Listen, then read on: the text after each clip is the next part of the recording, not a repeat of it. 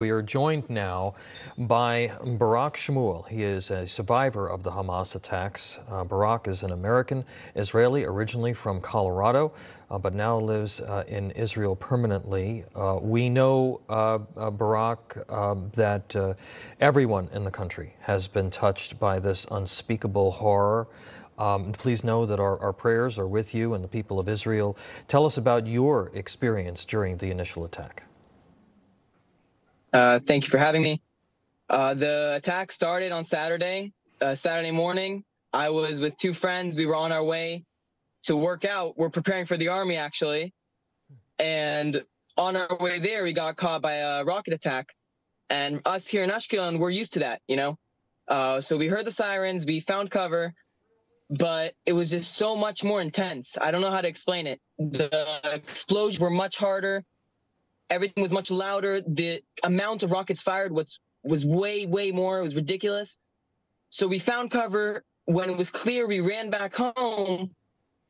And the scary part was is I started getting these videos of terrorists running around, and I couldn't under, I didn't understand what was going on. At first, I laughed. I was very confused. It, made no sense, you know. Hmm. And then it kept on coming, and the videos kept on coming, and I realized that this is real. So I locked the house, and that was just the kind of like the moment of realization that this is actually going on. Uh, I understand, Barak, that uh, that you unfortunately lost uh, a friend close to you. Um, can you tell us what happened, and have you been in touch with his family?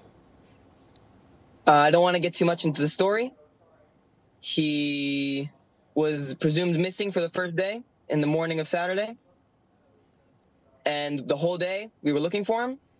That same night, we heard he was killed. That's, that's enough. Okay. Uh, well, uh, Barak, uh, you, you, know, you said that you are training. You're getting ready uh, to to take your place uh, in the in the IDF. Um, how do you feel at this moment um, with what you've been through, and uh, as you think ahead to, to the days uh, ahead and to perhaps your own service? What's on your mind? Absolutely amazing. You know, what these guys, what these soldiers are doing for us, I want to be able to do the exact same thing for, for other people. When I see them fighting and protecting us, I, I just wish I could be there with them. That's and you can ask anyone and they will tell you the exact same thing. That's how important this country is to mm-hmm. us. The civilians, it's it's our country. It's the the soldiers and civilians. We're together in this. Mm-hmm. So when I look at my future uh, army career, I want to make the most out of it. I want to be a fighter, and I want to do what these guys did for me for other people. The situation does not scare me; it only boosts my motivation to do that. Barak, how old are you, if you don't mind me asking? I am 17 years old.